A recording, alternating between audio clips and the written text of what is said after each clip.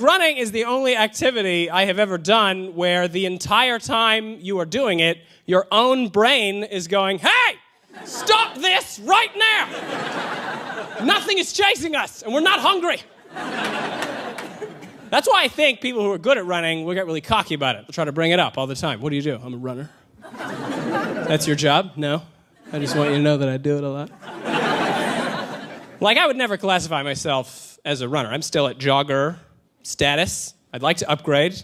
I don't know how it happens. I know that you don't want to be a jogger, though, because everything bad in the news always happens to a jogger. Turn on the news, a tree fell over on a jogger today. Any runners hurt? No, they ran out of the way.